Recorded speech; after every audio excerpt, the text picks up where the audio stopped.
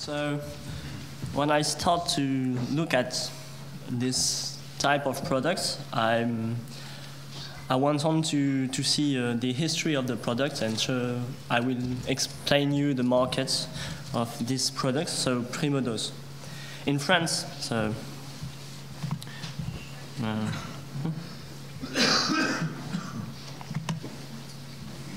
I don't know how to do here. Yeah? Yeah, that's good. Okay.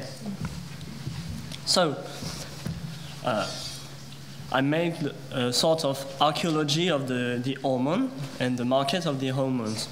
So, after the Second World War, the big companies who produce hormones um, start mixing them up. So, mixing estrogen and progesterone and testosterone.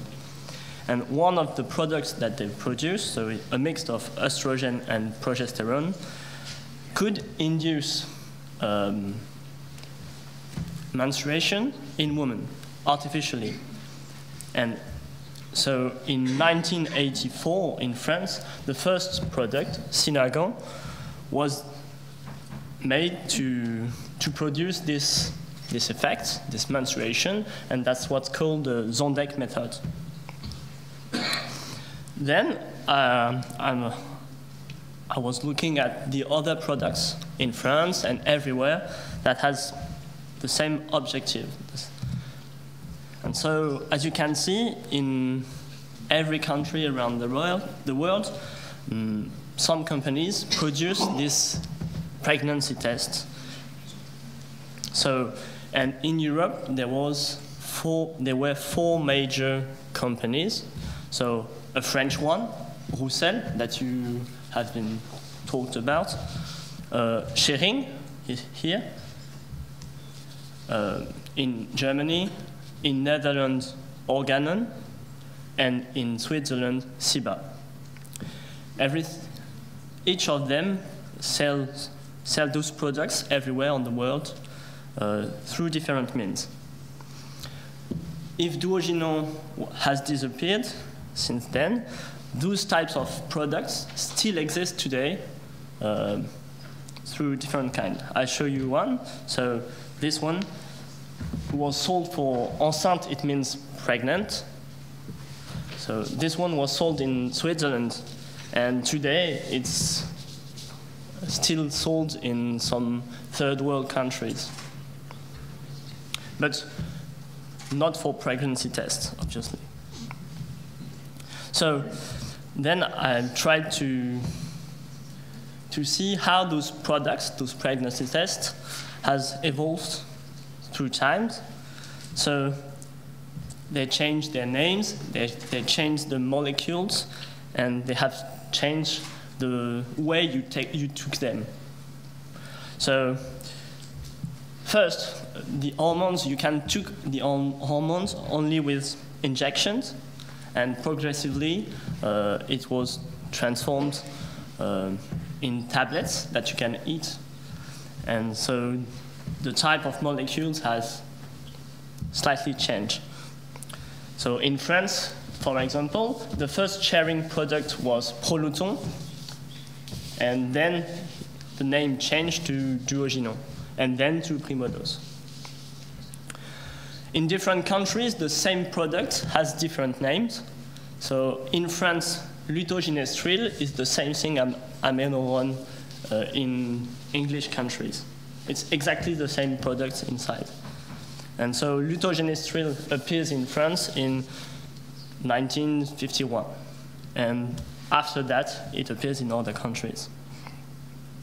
Then those tests or those products for the Zondek method um, can contain two type of progestagens. Uh, so it's a hormone. Um, one is derived from testosterone, and the other one is derived from progesterone.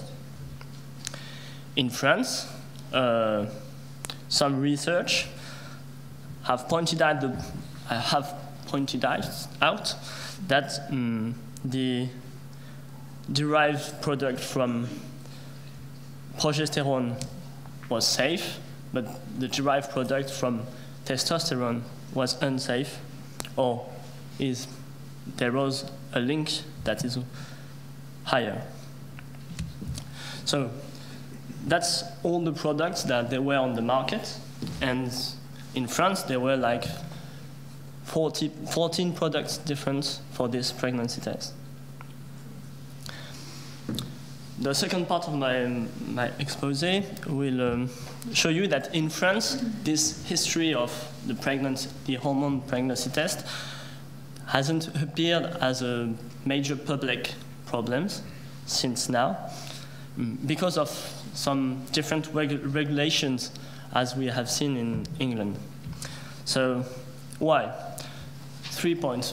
First one, because French state has a major administration for the regulation of drugs since 1941, so in the Vichy period. So. Second of all, um, French regulators uh, hate, hated um, hormones because they were supposed to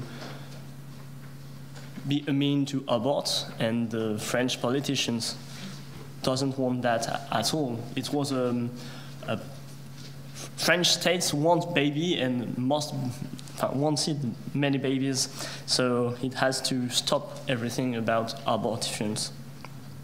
So either way, pregnancy test was suspect because it was supposed to put an early mean for the woman to have an abortion. And then it was suspect because it was composed of hormones who were also supposed to be abortifacients. Despite that, in France, those products were sold for the first reason, as you have seen, so to treat amenorrhea. I have many clues that those products were used for other things, uh, as pregnancy tests for example. But it was quite never marketed as such, only in the first half of the 50s and in the second half of the 60s. What is interesting for us now, but I don't know how, is that lutoginestril, so Roussel Amenorone, in France, wasn't sold after 1967 in France. So why? I haven't a clue for this. I suppose that the French states, uh, with his fight for against abortions, stopped this product in France, uh, but Roussel still sold it in other countries. So studies in the 80s found out that 10% of women of certain hospitals in France have taken this kind of product for pregnancy testing, even if it was hiding, highly suspicious. So the, the possibility that information circulates between women was evident. That's all.